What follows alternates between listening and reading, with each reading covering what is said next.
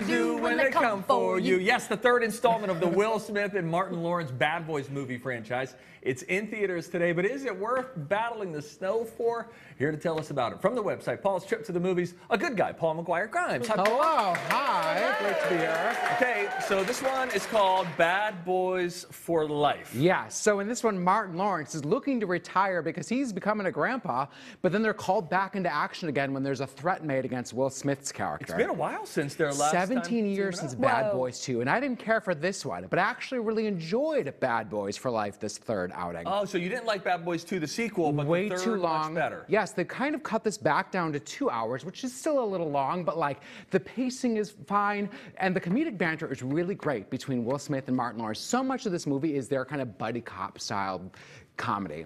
Question. Yes. Do you have to see the other two to understand? good- That's, That's a my great big question, on these and types of movies. no, Okay. I, I saw them back when they first came out. I didn't do a rewatch, and I was just fine understanding this one. The plot is ridiculous, over the top. So who cares whatsoever? Does it have sort of a, uh, a Fast and Furious vibe to it? In Yeah, I mean, of there's how a- serious it takes itself. Exactly. There's a lot of car chases, a lot of weaponry. Like it's it's amped up to the extreme. So if you like a lot of action and the comedy, and there's a lot of old people, like they're grandpas. So there's like grandpa jokes. We're too old for this shenanigans. So that's kind Right. of the running gag. But it's fun to like movie. escape a little bit and watch If you a want movie counter like programming, too. this is great for that. So three out of five ticket subs for Bad Boys strong. for Life. You kind of know what you're going to get yourself Right. into with this. Let's talk now about uh, two movies that are both up for Best uh, Picture at the Oscars. Starting with Parasite, a movie that Carly and I are saying. I hadn't heard of until it was nominated. This movie is incredible. It's about this um, very poor Korean family that lie and manipulate their way into working for this wealthy family.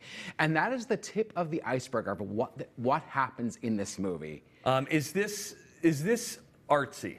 Is it a heady movie that critics like you would like, but maybe Joe from Bloomington is like pass? Well, sure, but I want Oh, Joe, Joe from, from Bloomington. Bloomington. But I Joe. want Joe from Bloomington to test themselves and take a chance on this movie because there's a lot of commentary in this about how we how di- people from different wealth classes react toward each other. Mm. And I'd say expect the unexpected. You will have no idea where this movie is going. It's part dark comedy, part home invasion horror. There's suspense. It will keep you thinking and guessing until the very ending, and then by the end you get to the end, you're like.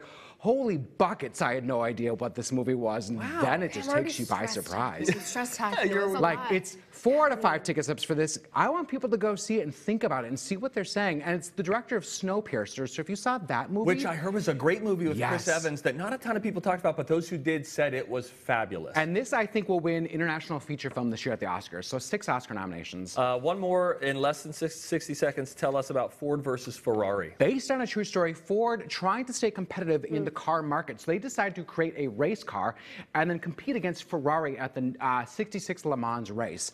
I am not a car guy, but I loved this movie. It was so exciting. That's Christian Bale, Matt Damon, Tracy Letts is in this as well.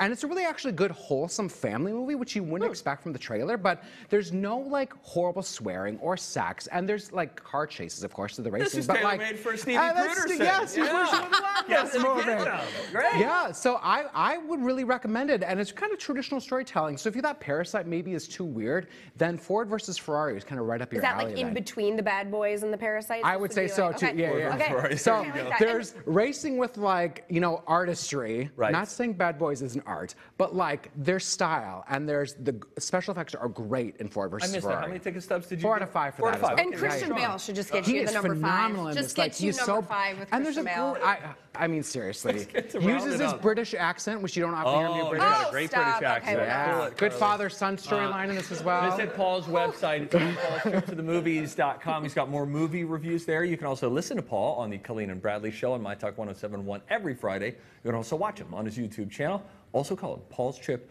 to the Movies. My co-host Carly Zucker